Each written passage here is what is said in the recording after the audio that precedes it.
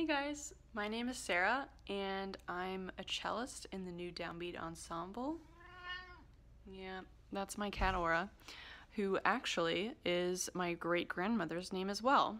And today I'm going to be showing you her wonderful buttermilk biscuit recipe. It's delicious and I love bread, so here we go. So the first thing you're going to want to do is preheat your oven to 450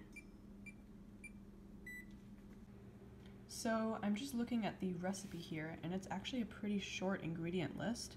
Um, I've already combined my dry ingredients together. I've sifted them together, which makes this whole process a lot easier. So you need some flour, salt, baking powder, and baking soda, which I have here in my bowl. So you'll notice the next ingredient on here is shortening, and I'm actually going to be substituting coconut oil for this. Um, and anytime you use coconut oil as a substitute for butter or shortening, you want to use a little bit less than what it calls for here because coconut oil is extremely oily.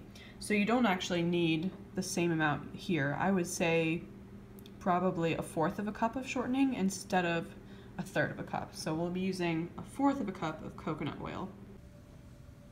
The last ingredient on our list is of course the buttermilk, which makes them buttermilk biscuits calls for 3 fourths of a cup.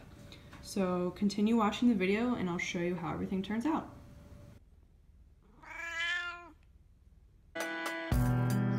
chunks out of me You're a shark and I'm swimming My heart still thumps as I bleed Alright, so this is what the dough should look like. It's not super pretty, but it feels great. And I have some flour down just to prevent some sticking. Uh, I might have done a little too much there. But so now I'm gonna roll this out and then I like to use a cutter to make little biscuits just because that's the way my grandmother taught me to do it. Um, but you can actually do it any way you want. If you like bigger biscuits, then I would recommend just forming it with your hands. Um, and the thing with this kind of dough is that you do not want to overwork it. You want your biscuits to be nice and flaky. So the less you touch it, I think the better the biscuits turn out. Alright, so I finished uh, cutting my biscuits up. They're looking pretty.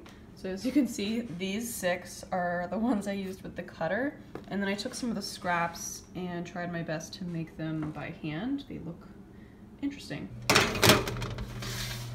So we're gonna bake these for 12 minutes at 450. So I just pulled these babies out of the oven and I'm super proud of how they turned out. Um, as you can see, they're pretty tall, you know, look at all those layers in there. They just look so flaky and delicious. And I love that some of them look a little funky.